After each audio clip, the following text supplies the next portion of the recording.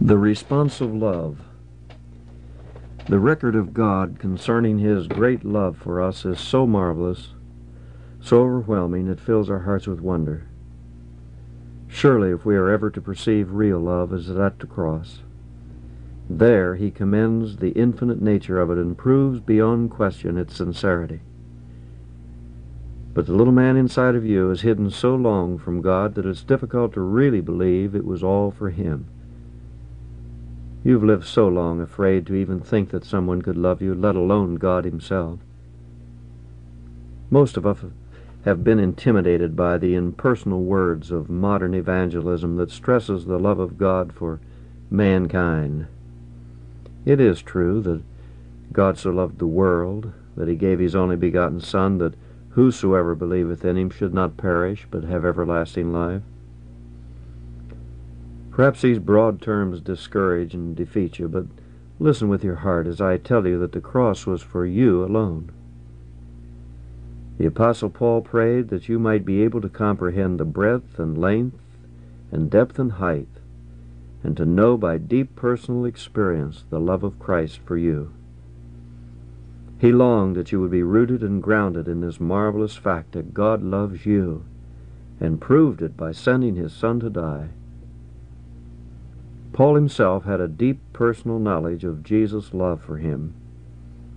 When he spoke of the cross, he said Christ loved him and gave himself for him. He never thought in terms of the world, but when he saw Calvary, he saw only Jesus and himself. The eternal love wherewith God loved you is a self-sacrificial love called out of his great heart due to the preciousness of the object loved. That object was you. It was you who called out of his great heart the love that sent his only begotten Son. It was you who called out of the heart of Jesus in Gethsemane the willingness to take the cup of your sin and sins and drain its bitter dregs at Calvary. It was you who worked the pressure of love within his breast that caused him to suffer the separation of your spiritual death. You're not just one soul among millions for whom he died. Had there been no other human being on earth, the history of the cross would remain unchanged. And had the eternal record of mankind contained but one name, and that name yours, Jesus would still have left heaven to die in your stead. He knew you before the foundation of the world, and his eternal eyes saw only you from his blessed home in glory. And the preciousness of the one he saw drew him to Calvary to give himself for you. There's not another person in the world like you in his sight. You're unique for he made you so. He not only created you, but he formed you as a potter shapes a vessel for himself. He made you as you are, that you might receive the personal revelation of his love for you, and that he might enjoy the privilege of loving you. All your beauty is in his eye, and your loveliness is in the heart of the blessed lover of your soul. Your eternal worth and preciousness can only be explained in the mystery of this great fact God is love. But all your experience with love in this life has been with a performance type of love. All who ever said before you, I love you, demanded that you do something in return to earn that love. And so perhaps even now you're asking, What must I do to be saved? What am I expected to believe? What performance will God expect and demand of me in view of His love to me? Oh, dear listener, hear this good news. God only wants you to love Him. This is the only response He wants of you and is the real evidence of saving faith. Difficult and confusing are the explanations theologians give when asked what it really means to believe to the saving of the soul. They prattle on about doctrine, dogmas, and creeds, as though saving faith were a matter of intellectual consent to some religious philosophy. The essence of real saving faith and the inner assurance of salvation is simply discovering that we have fallen in love with Jesus because he first loved us. True and real love, as seen in the cross, begets love in the heart of the one who believes. Love is the Holy Spirit's witness to the reality of true faith. You remember Peter once stood before a crowd and confessed his faith in the doctrine of Christ by declaring, Thou art the Christ, the Son of the living God. But the demons knew as much and trembled in the reality of their knowledge. And later this same man, under satanic pressure, denied with an oath the very Lord he had confessed. After the resurrection, Jesus met Peter at the shore of Galilee and asked him a deep, searching, personal question. Lovest thou me? He didn't ask Peter what he believed, but what he knew and felt in his heart towards Jesus himself. This was after Peter had been to Calvary and watched him die. This was after Peter had seen the wounds in his hands and side and had discovered that Jesus bore his sins in his own body on the tree. Now, after proving beyond question his love for Peter, he has every right to ask Peter what he feels in his heart for himself. Jesus longs only to hear him say, I love you. Now, Peter can't look at his performance for his answer, for it's been very bad.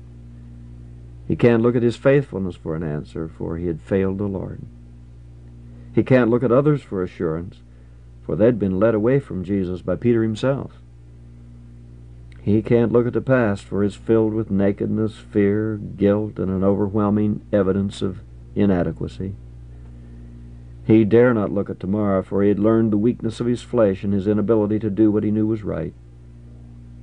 Peter can now only look at Jesus' hands and side, marked with the eternal evidences of his undying love for Peter as he was, and answer honestly out of the depths of his heart, Lord, Thou knowest all things. Thou knowest that I love thee. This love was not something Peter did, but something he could not help doing. The boldness of Peter's answer must have shocked him. Naked, guilty, worthless, ashamed of the black record of his denial in the judgment hall, yet in spite of all he was and had discovered so recently about himself, he loved Jesus from the depth of his heart, and he couldn't deny it. Jesus knew Peter loved him. He wanted Peter to know that this was all he asked. God is not asking you if you understand the theology of the cross, or if you can explain the details of Jesus' sacrificial death for you. He is asking you to look within your heart and answer honestly whether or not His love has begotten in you a love for Himself. Never mind for now about your duties as a Christian. This is your first duty, and in loving him because he first loved you, all duties will find their proper performance. Now, all the words employed in the Bible that express what the sinner is to do in order to be saved are fully explained by one word love. You can't believe in a person without loving him. You can't really trust yourself to another person unless you love him. You can't receive a person to your heart without loving him. Love is faith experienced in the heart and is the Holy Spirit's proof to you that you are a believer. Only the Holy Spirit can enable you to love Jesus. No man can call him Lord but by the Holy Ghost. When Paul wrote to the early Christians, he sent his greetings only to those who loved our Lord Jesus Christ in sincerity. Not to all those who confessed the Christian creed or who attended the assembly or who had done Christian works and proven themselves faithful, but he greeted those who were believers in fact and were known by this single mark they loved Jesus Christ sincerely. Those who are the called of God according to his purpose are those who love God. To love the Lord with all our heart and soul and mind is the first and great commandment of the law. All the law and prophets hang on this one reality. Loving Jesus Christ is doing more than all the sacrifices and offerings of the law. It is greater than tongues, gifts, works, benevolence, or martyrdom. It is that which fulfills every law God ever gave and performs every duty he ever placed before men. When we learn that we do not have to perform to be loved, for the first time we find ourselves wanting to perform for the joy of Him who loves us. Love is the only debt we owe Him. And when faith, hope, and all other Christian graces are vanished, love will remain. The love of God bestowed on you in Jesus Christ finds its fulfillment in the response of your heart. He demands nothing, seeks nothing, but that you love Him. Let me ask you now, do you love Jesus Christ? Not do you serve Him faithfully, read your Bible, or pray, witness, attend church, give, perform Christian works. I'm asking you this do you love Him? If you're a true believer, this is the one thing you can't deny. In spite of all you see and discover daily about your poor wretched heart, that one blessed reality remains. I trust you can sing from your heart the sweet words of that hymn. My Jesus, I love thee. I know thou art mine.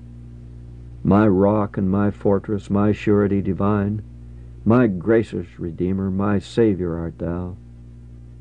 If ever I loved thee, my Jesus, 'tis now. I love thee because thou hast first loved me, and purchased my pardon on Calvary's tree. I love thee for wearing the thorns on thy brow, ever I loved thee, my Jesus, tis now. Perhaps you're saying, well, I do love Jesus, but I, I don't love him as much as I should, or not nearly as much as others. Hush. Listen to me. When Peter answered our dear Lord's question, he could only honestly define his love as weak and less than self-sacrificial. John was the apostle of love, deep, fervent lover of Jesus, but Jesus didn't ask Peter to love him as much as John loved him. There aren't any degrees of love. He doesn't measure your love on a scale to determine its reality. Your love is unique because you are unique. No one can love Jesus with the love you have to give him. And Jesus is satisfied with the little or the much of your love for it's called out of your heart by his preciousness. Each day of your life he'll become more precious to you than ever before as you learn more of how very much he has forgiven you. The woman who came to Jesus while he ate with Simon the Pharisee to break the alabaster box of precious ointment, anoint his feet, weep over him, and wipe his feet with her long hair, that is her glory, she did this because she loved him much. Jesus said her great love was due to her deep sense of having been forgiven much. And the much that you have been forgiven will be unfolded a day at a time to your heart. As you discover more about yourself, you'll discover more of the dimensions of His love, and so the sense of your own love for Him will deepen proportionately. Don't try to imitate another's love for Jesus. Your love is important to him, for no other can love him as you do. Now, if someone were to ask a father, which of your children do you love the most? He'd probably answer, Well, I love each one differently, for they're, they're different persons, and each one calls from my heart a unique kind of love.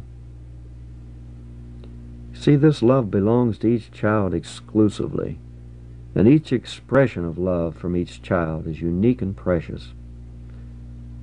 And so with Jesus, dear listener. The little or the much of your love for him is the personal expression of your own unique heart, and it's precious to his.